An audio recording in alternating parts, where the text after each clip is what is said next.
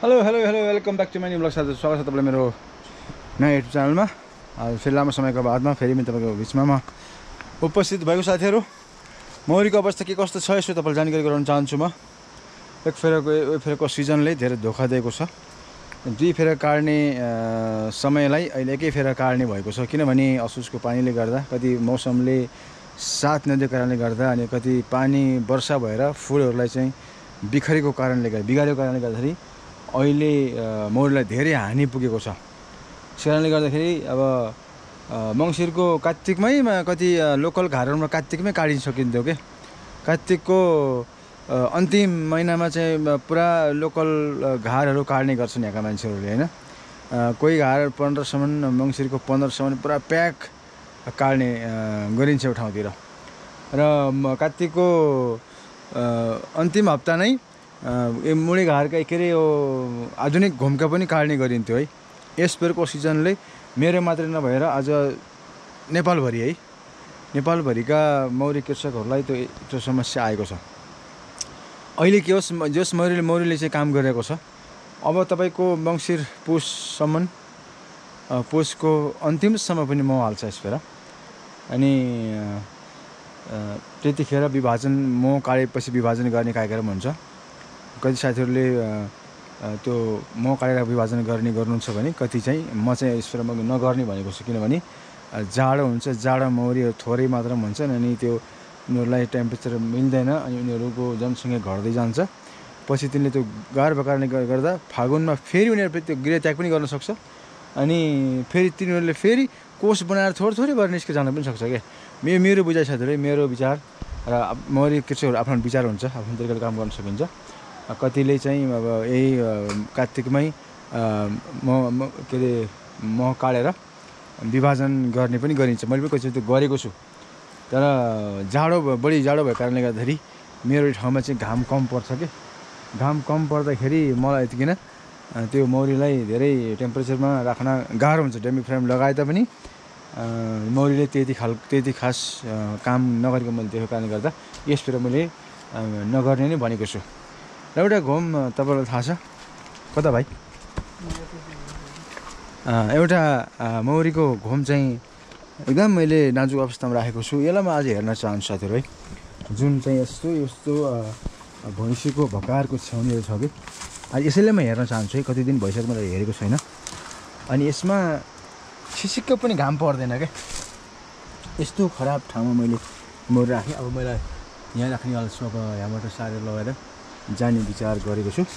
अहिलेलाई जे भइगयो। मलाई समय पनि छैन यसलाई धेरै म सार्नु पनि पार्ने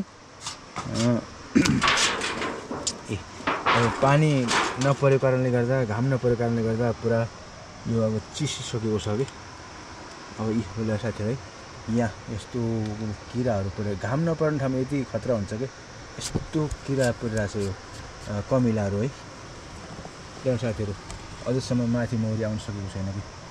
यस्तो अब यो चिसो चिसोले गर्दाखेरि यसको अवस्था एकदमै नाजुक भएर गएको छ अझै पनि। एकदमै नाजुक छ यसको अवस्था। साथीहरू एकदम राम्रो मौरी है यो तर के गर्ने? अहिलेको सिजनले गर्दाखेरि यसले कामै गर्न सकेको छैन। यो घाम नपर्ने ठाउँको भयो यो पुरा यस्तो ढुसी पो लागेको छ कि ढुसी लागेको छ कि? त्यसले म सारिदिनु पऱ्यो यहाँ। म यसलाई म काटेर सार्ने भन्ने विचार थियो। मै हालेन विचार अहिले अनि सार्ने कुरै भएन। ए यस्तो पुरा ढुसी ए माकुर भित्र छ कि माकुर भित्र छ कि त्यो यदि घाम पर्दैन भने साथीहरू त्यो ठाउँमा मौरीले काम पनि गर्दैन कि? मौरीले काम पनि गर्दैन। एकदम घाटा लाग्यो मलाई यो मौरीबाट। यस्तो ठाउँमा राख्नु मेरो लागि ठुलो भुल भयो। यो साथीहरू है यो चाहिँ घाम नपर्ने अब यहाँबाट घाम निस्किनु पर्ने तर घाम यतिकै पनि लाग्दैन कि यसमा। यसलाई म राति आज यसको घरै म यसको चेन्ज गरिदिन्छु। भोलि घाममा यसले म ल्याइपुऱ्याउने वाला छु अब। त्यो साथीहरू यस्तो अवस्था छ है अहिलेको है। यो चाहिँ यस्तो ढुँसी ढुँसी लाएर है साथी यस्तो भएको कि घाम यस्तो औषधि हो। एकदम राम्रो औषधि हो घाम। यो चिसो बढेको कारणले गर्दा पुरा साथीहरू कुहिसक्यो है। मैले ठुलो मिस्टेक गरेँ गल्ती गरेँ। अस्ति नै ठाउँ सार्नु पर्ने रहेछ है साथीहरू। अब ठुलो गल्ती भयो। यो आज रात मैले यसलाई म ठाउँ सारिदिन्छु। त यो घरको अवस्था यस्तो छ साथीहरू है। अब अर्को घरको अवस्था म तपाईँलाई देखाउँछु है त। किनभने अहिले मौरीलाई एकदमै मौरी पाल्ने कृषकहरूलाई अहिले किन त्यस्तो खालको समस्या आएको कुरा म जानकारी गराउँछु। यो घरमा चाहिँ त्यस्तो होइन कि यस्तो जस्तै कि यो अब यहाँ अब यस्तो किम्लाहरू यो यस्तो ढक्कनमा यस्तो किम्लाहरू लगाइरहेको छ होइन।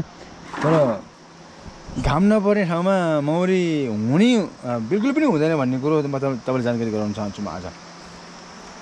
हिउँमा घामै पर्दैन के? यस्तोमा अचानक मैले ठाउँ नभएर कि मेरो मौरी राख्ने ठाउँ नभएर मैले यस्तोमा राखेँ।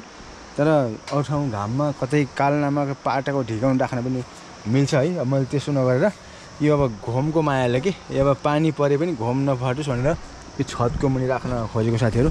त्यो कारणले गर्दा- गर्दाखेरि यो भैँसी उफ्रिनु लाग्यो यस्तो ठाउँमा मैले राखेको छु। त्यो यता यसमा चाहिँ घाम पर्छन् है। यो घाम पर्ने ठाउँको म छोटो देखाउँछु त म तपाईँलाई। हामी यसलाई हेरौँ है त। यसलाई हेरौँ है। त्यो साथीहरू इ- इ- के गरिरहेको छ यसले इ- माथि आइसकेको छ है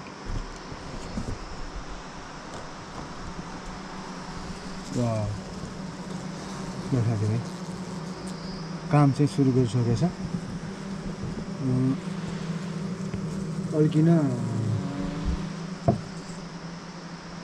काम सुरु भइसकेको छ ल साथीहरू फेरि पनि। ए चिलिसा तपाईँ के भन्नुहुन्छ यसलाई? हाम्रो घर चाहिँ चिलिसा भन्छ यसलाई यति लामो चिलिसाहरू हालिसकेको छ। त्यो कारणले गर्दा घोम चाहिँ हेर्नै पर्छ भन्ने भन् भन्छु कि म। यस्तो खालको चिलिसाहरू लायो भने यस्तो गन्दा किराहरू के? हेर्नै पर्ने हुन्छ कि? कपाटी किरा पनि लागिसकेको छ। त्यो काम अब सुरु गर्दैछ साथीहरू है अब कामको लागि टोकिहाल्नु मलाई उताले। अब टोक्नुको पनि तपाईँलाई थाहा छ।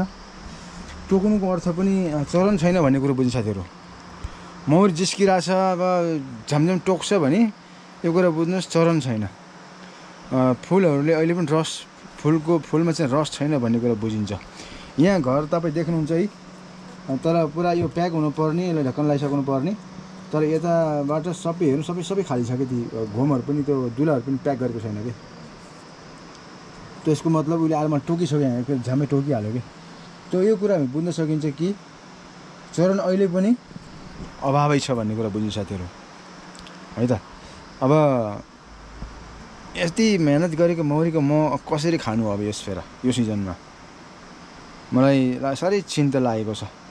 र यसरी चाहिँ अब यस यसलाई कति किरा पारिरहेको छ कि अब यसलाई कस्तो झिङझिङ गर्छ कि है? थोरै पनि यसलाई टच गर्न पनि गाह्रो भइसकेको छ किनभने चरणै छैन भन्ने कुरा बुझिन्छ। यसरी मौरी टोक्छ तपाईँलाई आउँछ झिँगार्छ भने त्यो कुरा बुझ्नुहोस् कि चरण छैन। चरणको अभावले गर्दा मौरीहरू बिच्किने टोक्ने काम गर्छ साथीहरू है त। तपाईँले यो जानकारी गराउन चाहन्छु। र सबै मौरीहरूले यति नै हालेको हुनसक्छ। म अब खोलिनँ साथी अरू म खोलिनँ। किनभने अब एक हप्ता पहिला मैले खोलेको थिएँ। र आज मैले दुईवटा घुम खोलेँ। अरूलाई मैले खोल खोलिनँ आज। यहाँ चिसिएको सबै। हामी म यस्तो ढक्कन चेन्ज गर्ने पनि गर्छु कि? यो सुक्छ। मैले अर्को ध्यान दिएको छ।